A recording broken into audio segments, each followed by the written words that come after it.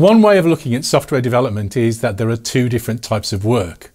The stuff that's really our goal, solving the problems that our users need to be solved, and the stuff that it takes to make good systems. People often talk of the second group of things in planning terms as technical stories. Now clearly, I'm not going to say that these things don't matter. They're vital to success. But how do we approach these technical tasks? They're important, but often tend to get overlooked and under prioritised in planning and teams and systems suffer as a result. So why are technical stories a bad idea? And if they are, what are the alternatives?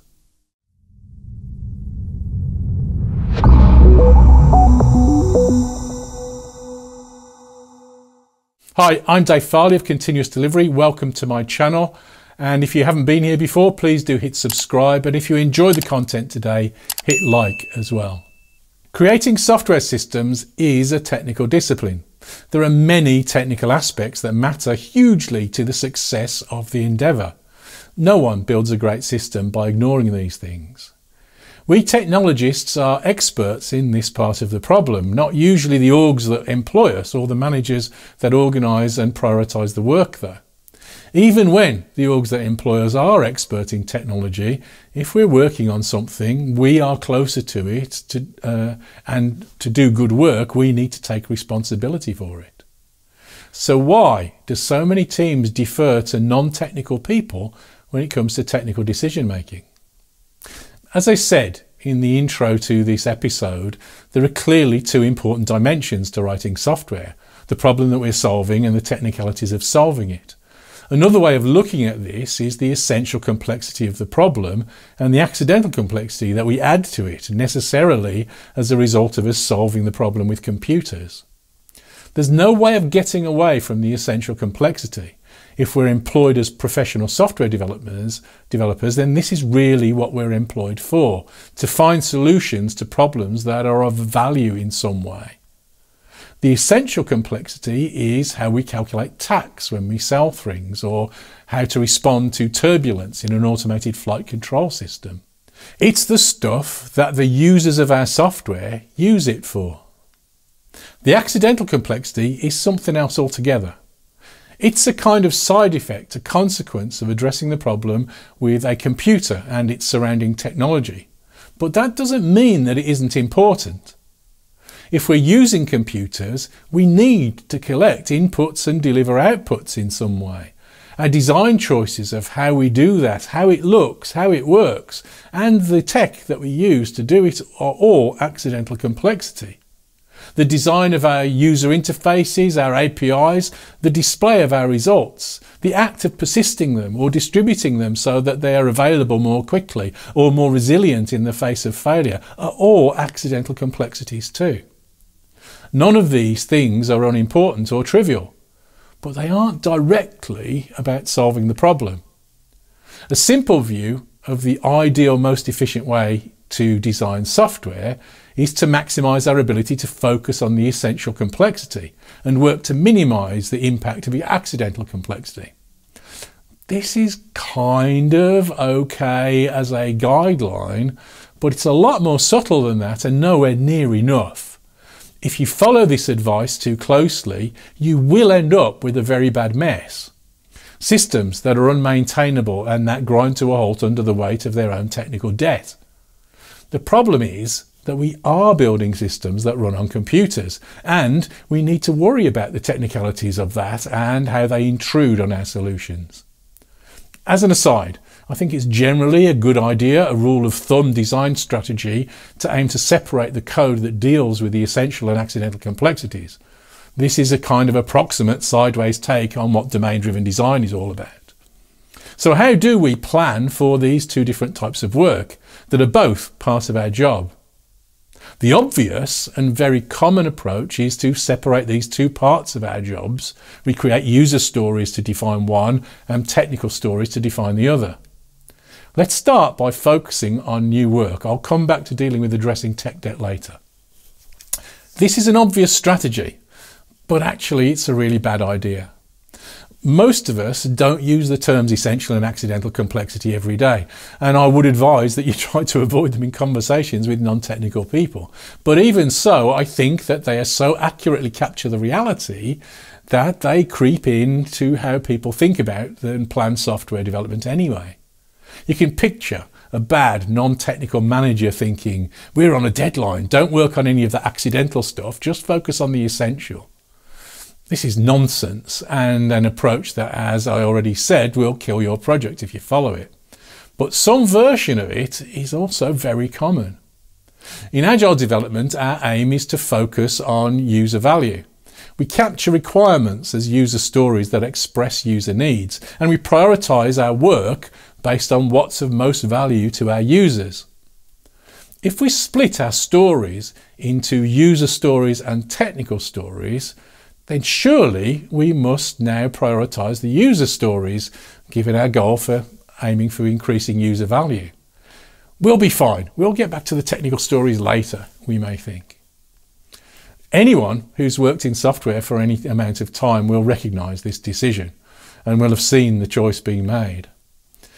It results in low quality systems that are hard or almost impossible to maintain. Changes to the code get more and more tactical. The code gets more and more complex and a more and more difficult place to work. Until even the smallest change is now terrifying and slow, and almost sure to introduce new bugs to an already buggy system. The problem here is that we need to prioritise work based on a balance of things. We need people who understand user need and make sure that technical teams don't go off on some technical masturbation dream. And we need people who understand the design and the technology to make sure that the business focus doesn't lead us into a pit of unmaintainable crap. Avoiding both of these extremes is firmly in everybody's interest. The problem is that balancing decisions like this to avoid these extremes is rather tricky. And the ability to do it is rarely embodied in a single person, and so it needs a collaborative approach. This is almost never going to work well if the technologists or the business decide priorities alone. Build the most valuable stuff for the user first is a very good guideline, but only makes sense in combination with some other ideas. The huge one, the vital one for this to work is that technical teams take responsibility for the accidental complexity. We're the expert in software and computers. We are best placed to understand which parts of the accidental complexity are actually essential for our goals, but these changes aren't the same kind of thing as user stories. Forgive me, but I think that part of the problem here is just how bad so many teams are at user stories. A user story is meant to express a user need, a small increment in the function of a system that will be of some use to a user from their perspective. It's not meant to be a work item or a task for a development team. It's more like a target that the team will work towards and aim to achieve as a result. To achieve that goal, there will usually be lots of different steps, including work on both the essential and accidental complexities of the system. If we see user stories as defining a series of programming by remote kind of step, decided by someone outside the development team, we're now in a low quality game. If we go down this road and start to decompose work into a series of tasks, inevitably some of these tasks will be technical ones. Whether we call all of these things user stories, they are not, or technical stories, they aren't that either, it doesn't really matter. The problem is how does anyone prioritise work like this? How do we evaluate the relative merits of pay by credit card versus add column X to the database or make this button blue? We can't. Different people will see these things differently, and for good reason. They are different. We're comparing apples and frogs here. They're categorically different kinds of change. What usually happens is someone, often a manager of some kind, takes on the responsibility of prioritising things because someone has to. They don't really like it much. It's pretty stressful making choices about things that you don't really understand, but they'll do it anyway. Now they've got two choices. They either deprioritize the stuff that they don't really understand the importance of, or they trust somebody else to make the priority calls on the stuff that they don't really understand. If it's done collaboratively between people who trust each other and work well together, the second approach can work. But to be honest, in my experience, the first approach is much more common. And this never really works. Unless the person doing the deciding understands the whole system in detail, the technical, technical and business needs, and often, even when they do think that they do that, they're fooling themselves. Even in the first case, that does work, this is still not the best approach. Because how do you decide which is more important? Credit card payment versus the database column. So in my view, technical stories are a cop-out. They mean that the teams are either trying to abdicate responsibility, wanting someone else to make the calls so that if they're wrong, it isn't the dev team's fault, even though this is really their responsibility and their sphere of expertise, or people outside the dev team are trying to exert control where either they're not qualified to do so or are not close enough to the problem and the code to make good choices. As a result, I think it's a much better strategy to eliminate technical stories altogether. All work should be focused on user stories instead.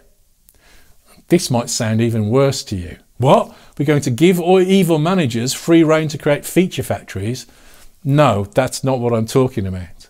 The other side of this approach is that the tech teams accept the responsibility for technical decision making and the prioritisation of technical work. We nearly always do this to some degree anyway. We don't usually need user stories to tell us to store stuff in a database or write it to a file. If you do have user stories like that, you're probably doing it wrong in the way that I described earlier. User stories are about user needs, not solutions. If all of our prioritization is done on the basis of user need, it's easier to decide what takes precedence and what can wait.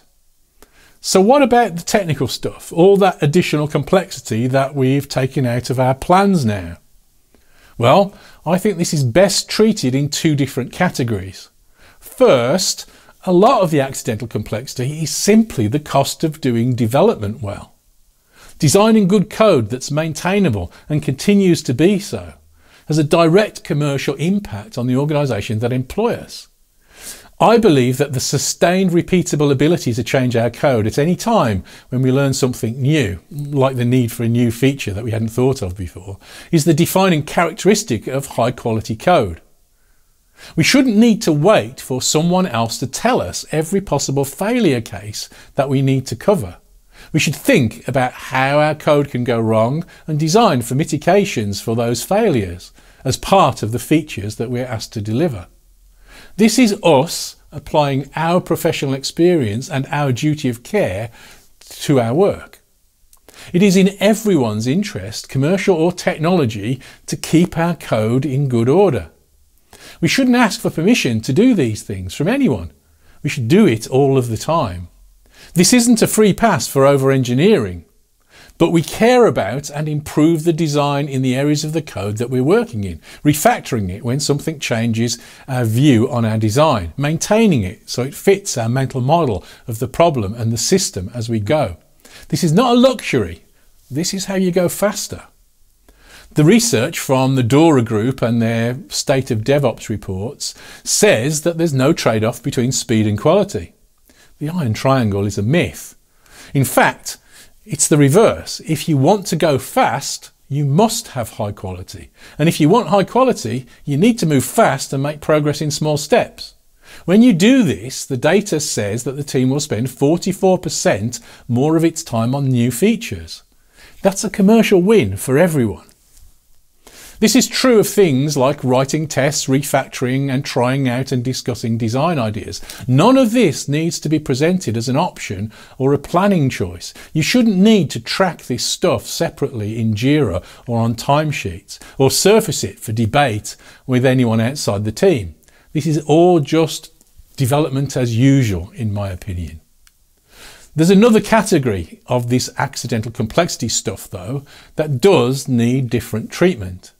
This is the stuff that will take more time and effort and is often seen as another form of technical story. Stuff like scaling up your system to handle more users, speeding it up to improve its responsiveness or perhaps making it more fault tolerant.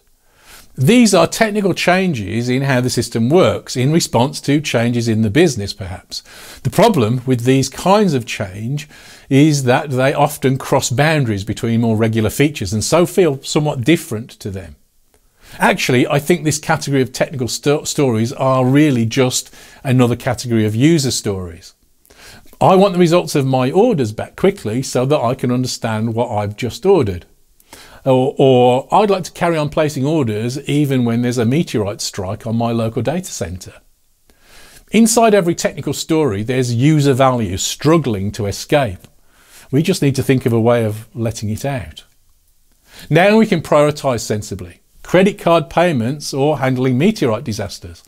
Uh, once we identify the real user need that sits behind our technical stories, we can treat them the same way as any other, juggling priorities in conversation with non-technical people and breaking our stories down into smaller chunks so that we can develop them and maybe even release them in smaller, safer steps. My team once designed and developed a multi-data center messaging and clustering system with full disaster recovery and predictable minimal data loss for our exchange. We did this over a period of a month or two, as I recall, released progressively in a series of tiny steps. We got to see each step in production and learn from it as we grew its capabilities. Each step added some form of user value and that's how we organised and planned all the work. There are sometimes grey areas. What's the user value of updating the version of C Sharp that your system uses? I think there are, there are two solutions to this part of the problem.